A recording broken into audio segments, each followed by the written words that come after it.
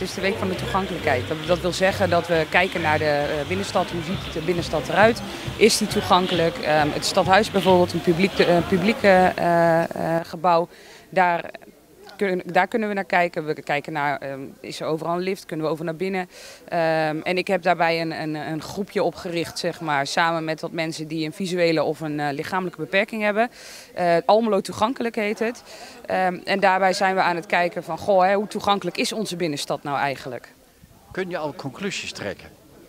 Uh, nou ja, ja, er zijn wel wat conclusies te trekken. Er zijn wat uh, in ons groepje is naar voren gekomen waar mensen vooral tegenaan lopen. Op dit moment is dat er geen openbaar toilet is waar mensen met een beperking of met een scootmobiel of een rolstoel uh, goed naartoe kunnen. Vindt u dat er op dat gebied voldoende openbare toiletten zijn? nee, er zijn nog onvoldoende openbare toiletten als het gaat om toiletten die 24 uur per dag toegankelijk zijn. Maar ondernemers hebben ook heel veel toiletten en die zijn vaak ook toegankelijk.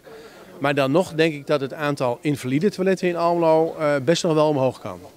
Um, wat kunnen we op dat gebied binnen een bepaalde termijn verwachten van de gemeente Almelo?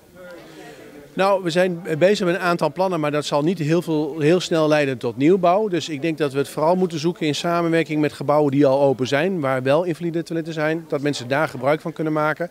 En vooral ook dat mensen die toiletten kunnen vinden.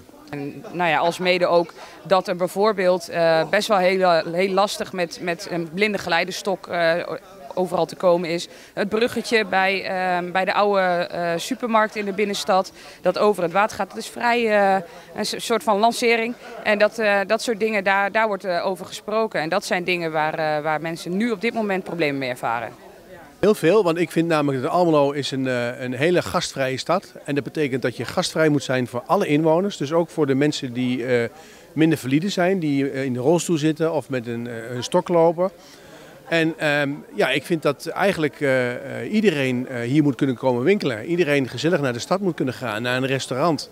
Dus dat betekent dat je je restaurant toegankelijk moet zijn, dat je invalide toiletten hebt, uh, dat je met de winkels in richting uh, rekening houdt dat mensen met een rolstoel er doorheen kunnen. Nou, toegankelijkheid gaat ook vooral over gedrag van je medemens. En dat merk, uh, dat merk ik vooral bij de mensen die bij mij in het groepje zitten, in Almelo toegankelijk zitten. Die zeggen ook van ja weet je, ze denken niet na over het feit dat ze de auto op de stoep parkeren. En dat wij er langs moeten met een rolstoel en dat we de stoep niet zomaar af kunnen met dat, met dat hoge randje.